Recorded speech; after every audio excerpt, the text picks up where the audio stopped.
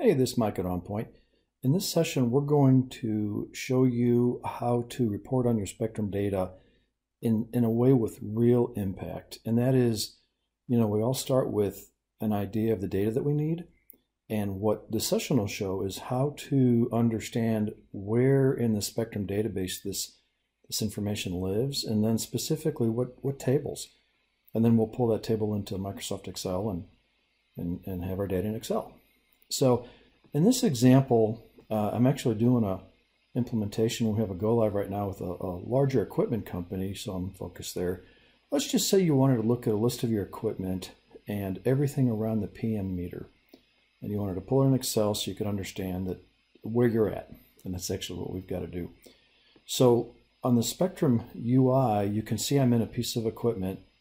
And what we're interested in is under properties, the meter readings. And what I'm after is a listing of the equipment that shows uh, the primary meter, the meter description, and whether we've put in our base meter readings yet. So the first thing we do is we go to that screen in Spectrum, and obviously that's where I'm at, equipment readers, equipment meters. And you can see if I hover over equipment meters on the right side of my screen, I get a little function pop up. This is the function that's feeding this screen. okay, and I'll make a note of it, ec.eqp underscore meters, ec.eqp, okay? So that's the first step. So to understand the tables that are part of that view, I'm going to run out to InfoLink, and I'm going to go to my phone and turn it off. I'm going to go to function table cross-reference.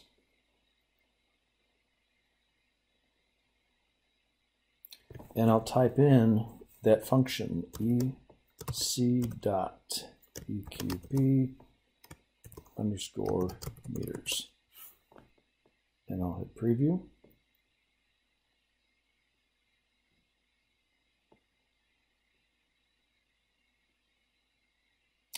And this little guy is showing me the tables and or views that are part of that, that user interface. And I, you can see the equipment master MC is, is on this function. And so that's, that's the table that I'll need to get those meter readings. Okay, so you make a note of that, EC underscore equipment, master MC. So I'm going to close out of this. And then next I'm going to go verify that my data is indeed on that table. So I'll go up to table directory inquiry under InfoLink.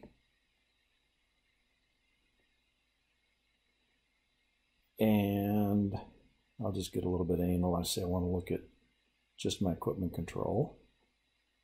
And then I'll type in EC equipment underscore master underscore MC. And boom, there's my table. Okay. So I'll double click on him and check this out. This is my data dictionary. I've got the fields that are on this table, the name, the type, the size, the description, and other pieces of, well, just the description and it's a listing of all of the fields that are on, in this case, the table. And so without, I don't want to have to scroll through everything. I'll say, you know, well, first of all, I'm, I'm going to look for meters. I think I lost my table there. Let's go back and get him. So I'll go back to my table and I say I want to look for all the fields around meter. And voila, here they are. I've got meter type, last meter readings and date, and then the meter type 1, 2, 3, 4 in terms of descriptions and type. So here's all my information that I want. So I know the table now that contains the information I'm looking for to go out and do a quick Excel dump of my meter readings.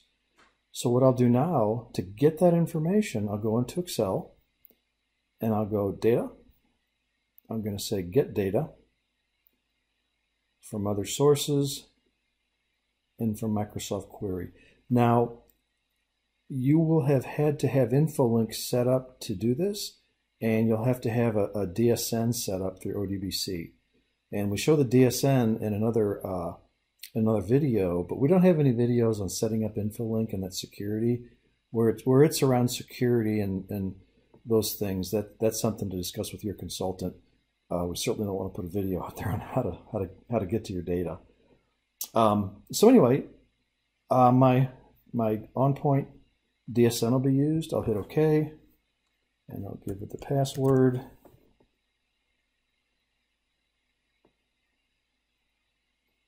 And then MS Query is going to ask me which tables I want to see. First of all, I'm going to go to this owner, and I'm going to say, only show me database objects. And I know that I want this Equipment Master MC. Now, the reason I'm only seeing a few tables here is because of my, my InfoLink setup, okay? So anyway, I'll add that table and I'll close.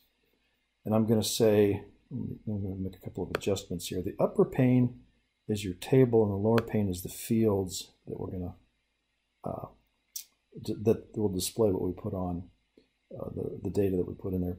So I'm going to say I want to see the company code. That's something you'll always want to do because this is a multi-company table. And then I'm going to say I want to see the equipment code and then I want to see the description. So now I've got a column for company code, equipment, and description. Um, what I want to grab next is my meter type. Is it equipment meter type?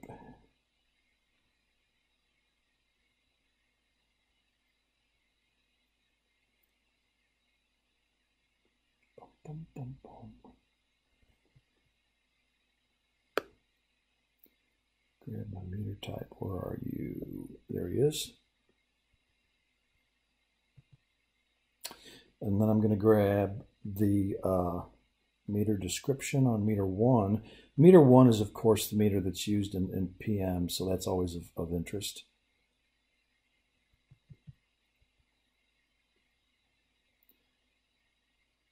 Equipment meter description one.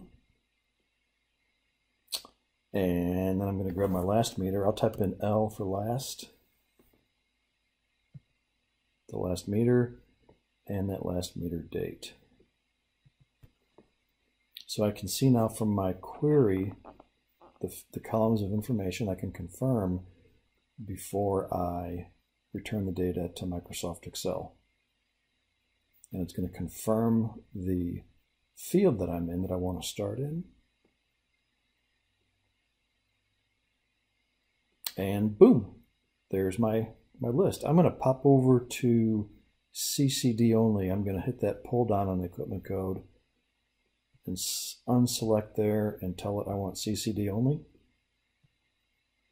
Now I'm looking at that, that company specific.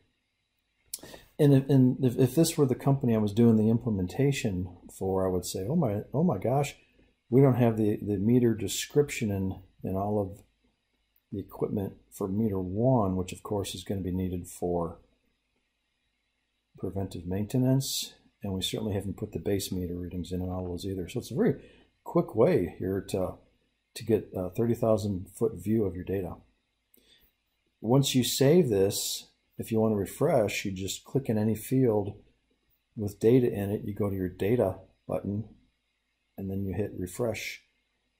Where are you? Refresh, refresh all it'll reach back through web services into your Spectrum company and refresh that data.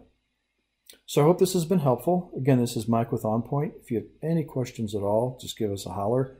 Phone number and email address is on the website. And uh, thank you for joining. Bye-bye.